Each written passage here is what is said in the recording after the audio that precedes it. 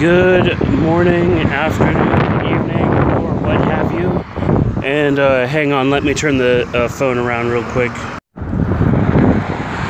Alright, so uh, yeah, Thanksgiving was yesterday and it was fine. And uh, this morning I made a call to uh, Dr. Sutherland's office get a uh, appointment set up a consultation um, to uh, see about uh,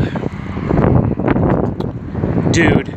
And uh, yeah so the doctor's booked out until December 23rd uh, that was the earliest I could get in unless there's a cancellation but um, I'm on the list so they'll call me if there's if there's a cancellation and I might be able to get in earlier.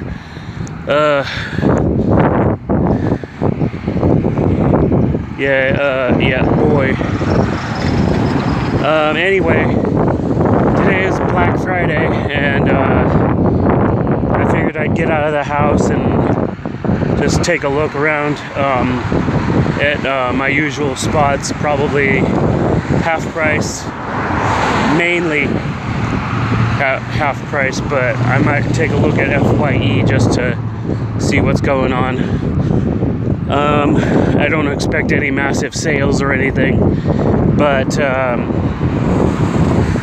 yeah, so on the way to uh, the mall now, and uh, on the way I grabbed a C4, and this is a, a uh, Starburst strawberry pink pink straw uh, pink Starburst uh, flavor apparently. 200 milligrams of caffeine. So not like super duper too much. Just like a, just a good amount.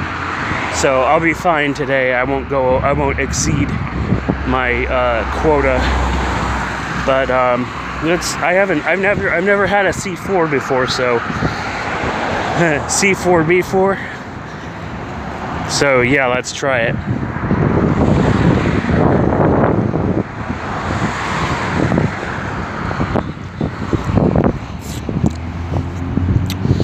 Yeah. I mean, it tastes like one of the usual low sugar energy drinks, but it's got that hint of, of uh, pink starburst to it, so that's a good thing. There's a red one, a cherry one. I'll try that one next time.